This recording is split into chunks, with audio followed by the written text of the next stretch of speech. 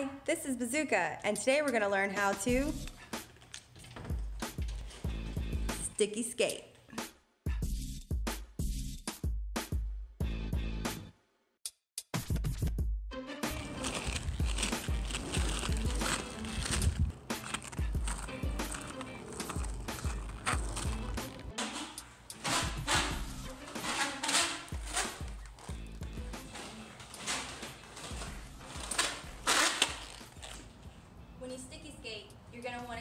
All eight wheels on the ground.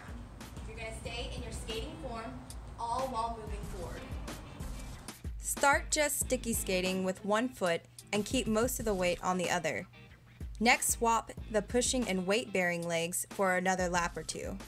Finally, try to alternate moving your weight from one side to another. When you sticky skate, make sure you're using the ball of your feet to push. This is where you're going to get the power to propel yourself forward.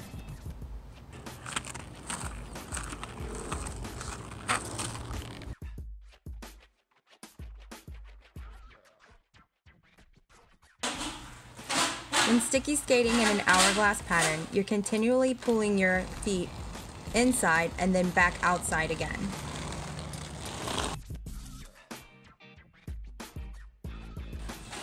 A slalom pattern consists of moving your knees back and forth like a skier.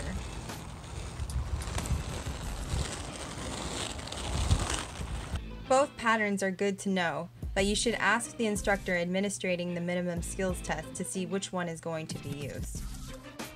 If you find yourself having a hard time sticky skating, a good tip is to loosen your trucks or get softer cushions.